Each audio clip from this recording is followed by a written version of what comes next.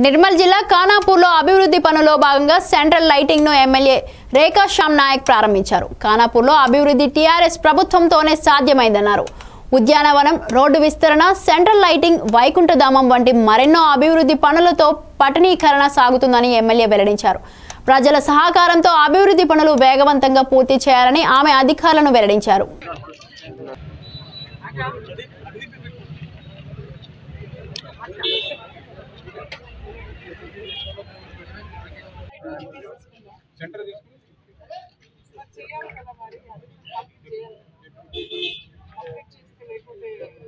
మాట్లాడే వాళ్ళు ఇప్పుడే మాట్లాడుతూ సగం చేసి సగం చేయకుండా ఇట్లనే సెంట్రల్ స్టార్ట్ చేస్తున్నారు ఖచ్చితంగా ఇది కూడా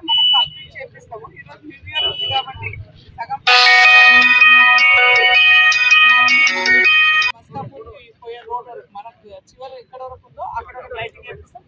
రోడ్ డ్యామ్ వరకు మళ్ళీ ఇలాగే గాంధీనగర్ వరకు. అది ఖచ్చితంగా చేపిస్తాం. ఈ రోజు న్యూ ఇయర్ ఉంది కాబట్టి లైటింగ్ పెట్టాలనే ఉద్దేశంతో స్టార్ట్ చేస్తాం.